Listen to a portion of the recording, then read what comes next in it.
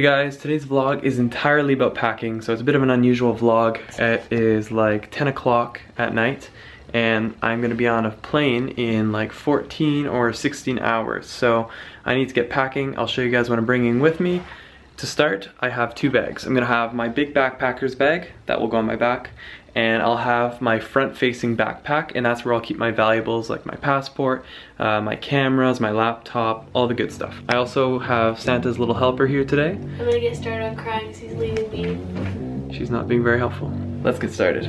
So this is my big backpack that I brought with me to Asia last time, and we've been through a lot together. This is my little tiny front-facing backpack, and I don't actually remember the exact sizing on this backpack, but just buy anything. Amazon sells really good backpacks. You can buy them there for like 200 bucks for a good backpacker's backpack. And I wouldn't cheap out. My number one recommendation is to get a backpack that has this. So not only can you put stuff in here, but you can also lay your bag flat and then unzip it. And that way you can actually see what's in your backpack without pulling things out every time. That's my number one recommendation. Makes a huge difference. 10 out of 10 would recommend. Also, it doesn't hurt to get a backpack with a bit of support, so mine has a bit of lumbar support and hip straps. Here's basically the key. If you want to cut to the chase and you don't want to watch my video, don't bring anything, buy it over there. Okay guys, so I say to add to that, so even if you're a girl, if you're gonna be in Thailand, especially in Bangkok for a few days, there is so many cute rompers and dresses. So this is an essential. Bring your Ed Hardy pink hat. He's lying. That's a I don't even know where I got this. Alright, so here's the strategy. Get together a pile, put it all in one spot. Laura, get ready. And then get rid of half of it. And get rid of half of it. You don't need it. but be a bit more selective. Alright, so I brought the pile from my room to the couch and I've, I like to separate it so that you at least see all your stuff in one place. You're not confusing things that you have no chance of bringing. And from here, I went through the consideration pile and things that I was definitely gonna bring, I brought it to a table. So from here, I've basically organized the gist of what I'm gonna be bringing. I'm gonna be bringing two pairs of dress pants, uh, and by dress pants I mean a pair of jeans and a pair of these joggers. So stuff that you can wear out, go to the club, you could uh, wear it on a bus, it'd be a bit warmer, whatever it may be. It's good to have at least one pair of pants. In addition to that, I also have sweatpants. One pair of sweatpants is probably gonna be a good idea.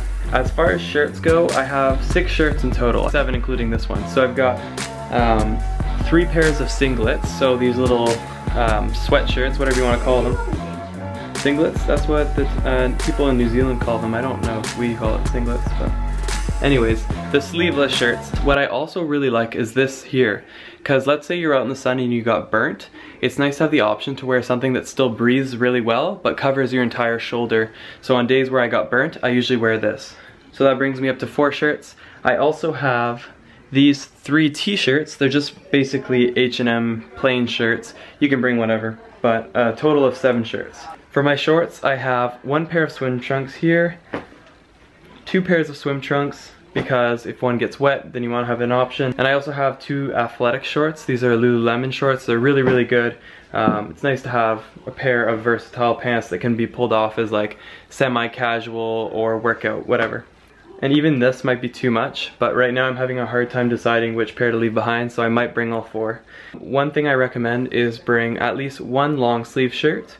This will be good for getting on buses or planes where they blast the air conditioning and it actually gets really cold. In addition to the long sleeve, I'm also bringing one hoodie um, basically just like a sweatshirt and this one here is a very very light athletic sweatshirt so kind of like a windbreaker. I'm gonna bring two hats. You could definitely just bring one. But uh, yeah, I'm gonna bring this beater hat and this one that's a bit more stylish, even though I'm not from LA. I think it looks pretty cool. I'm bringing seven pairs of boxers. Don't really need to show you them, but here they are. And I'm gonna bring seven pairs of socks. So I'm gonna bring like one or two dress socks um, just for like when you're wearing your pants. And then I'm also gonna bring five pairs of just basic white socks. This here is a travel hack. I highly recommend you get a drawstring bag. This is great for when you're doing day trips. So let's say you're going down to the beach and you're leaving your hostel or you're leaving your hotel. This is so, so good because you can throw your cell phone, your wallet, your passport in here and have it on you very conveniently because you don't want to lug around a big backpack all the time. And the best part is you can fit it in anything. Always bring a drawstring bag and your life will be better. that is pretty much all my clothing that I'm bringing and I've eliminated those from the consideration pile. Also gonna keep her in the consideration pile, decide if I keep her or not. I'm having a rough go over here. Just kidding. I was told today I couldn't get my hair dyed blue because my hair is gonna break off, so now I'm so sad. Laura really wanted to have blue hair, but now she'll get long extensions with blonde hair, so I'm really excited no, about that. I wanted blue hair. Now I'm gonna put all those things into my bag, and then after that, let's move on to my electronics bag, my valuable bag, the bag that I will basically never let out of my sight the whole trip. Let's pack this bag. Some of you are probably thinking, do you have a strategy for packing your bag? Not really, the reason being, I can unzip my bag, like I said earlier, and grab anything without pulling everything out. So again, make sure you get a backpack that can unzip horizontally. It'll make your life so much better. Okay. But generally speaking, I'm gonna throw the things at the bottom of the bag that I know I won't need immediately, like jeans. These are also heavy items, probably best served at the bottom of the bag.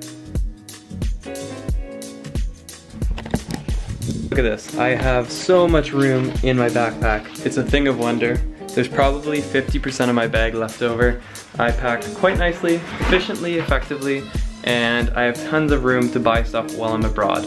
Perfect. So with the extra room that I had in my main backpack, I'll normally keep my less expensive gear that is heavy or can get stolen and I wouldn't be devastated. So stuff like a tripod, um, maybe chargers, cables, handles, and selfie poles, whatever you need, that if it got stolen, it wouldn't really matter. What's gonna go in here, I will show you.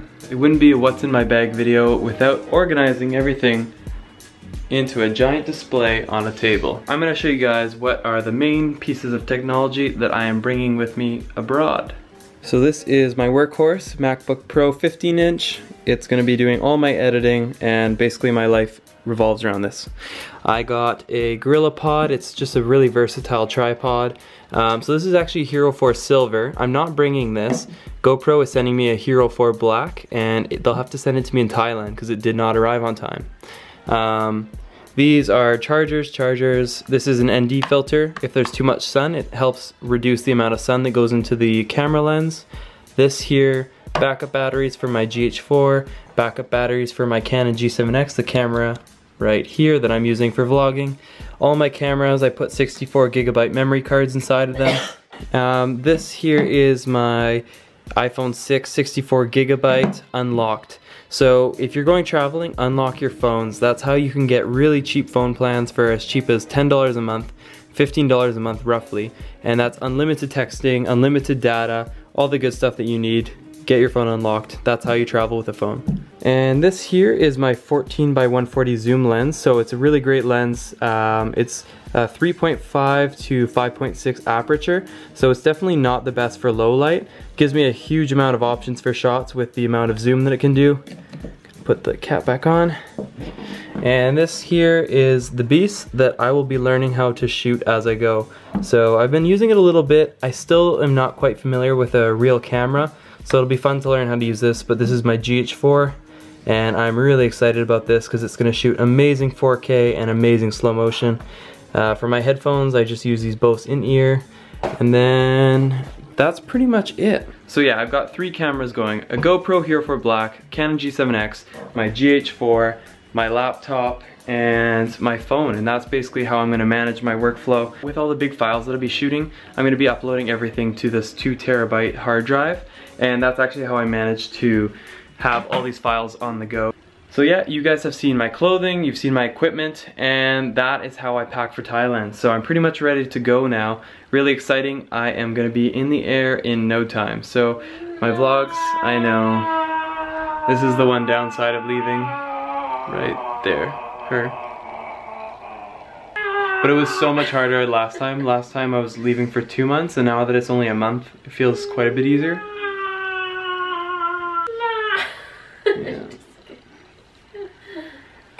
We will be reunited in the Philippines, so that will be a lot of fun. The bag is almost ready to go, and this bag is almost ready to go. I've got to say, I am much more prepared than I was last time. Last time I actually had quite a bit of stuff, and it was, you know, pretty tiring to carry it around. Another couple of random tidbits. You should get wall adapters in advance. Plugging in your electronics when you get to another country, a lot of countries have different wall plugs, so be prepared for that. and Asia in particular, you need to buy sunscreen beforehand, otherwise you'll pay like three times more when you get there. I mean, it's not imperative, but it definitely helps save a bit of money. Two hours later, and I've got bag one, bag two. I'm ready for Thailand. I'm also ready for sleep. I have to get up pretty early in the morning. I want to go to the gym. It'll make the day on the plane a lot easier if I've gotten a good workout in. But I know in the morning it's going to be pretty rough getting out of bed. So the sooner I get in bed, the better. And I'm gonna go say goodbye to Laura's little sister, to her mom, and in the morning I'm going for breakfast with my parents, and then Laura will be the one dropping me off at the airport. Anyways, till then, till tomorrow, I will talk to you guys then, and it will be the beginning of my new chapter in Thailand, Philippines, and I haven't figured out the third country yet. So it's gonna be an amazing next three months. Alright guys, I need some sleep. See you tomorrow. Goodbye. Thank you. And I got this. If you're gonna wear a fluorescent helmet while you're on your motorcycle, at least drive a little recklessly, please. You just dropped her. Oh, Thank you. that was sick.